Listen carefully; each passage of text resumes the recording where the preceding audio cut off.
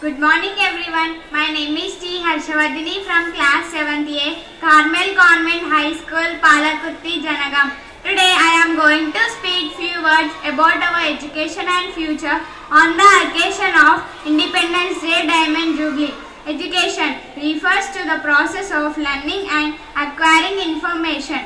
Education can be divided into two main types. Formal learning through an institution such as a school and second one self-learning is often termed as life experience.